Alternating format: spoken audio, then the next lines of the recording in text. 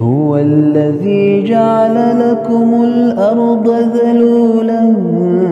فامشوا فامشوا في مناكبها وكلوا من رزقه وكلوا من رزقه وإليه النشور